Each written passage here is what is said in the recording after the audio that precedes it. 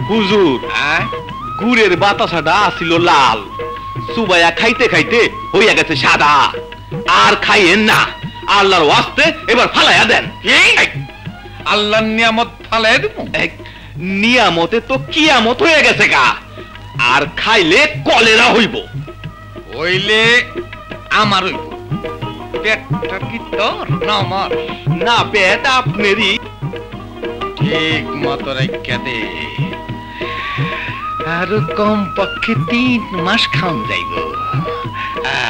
টেকা জমান কি সুজা কথা? জমাই টেকা। হাই রে টেকা। টেকা কি করে বাঁচানো যায়? টেকা কি করে জমানো যায়? টেকা না হইলে মানুষের সুখ নাই শান্তি নাই পুলাপান নাই স্ত্রী নাই।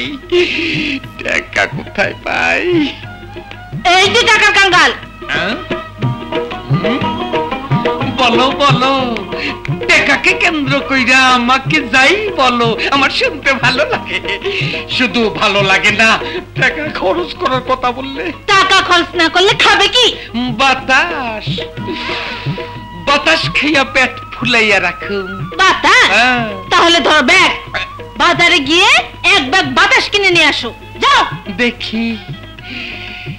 টাকা খরচ না কইরা সব কিছু বাকিতে আনা যায় কিনা? মা?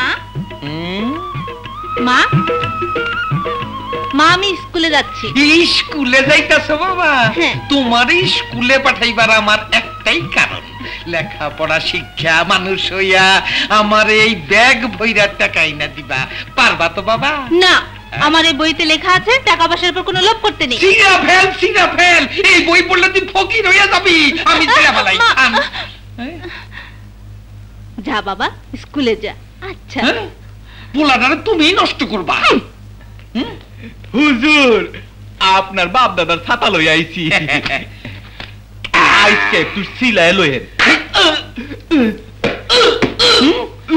এই সাতাশি লাইলে আমার বংশ মর্যাদা নষ্ট হয়ে যাব মেল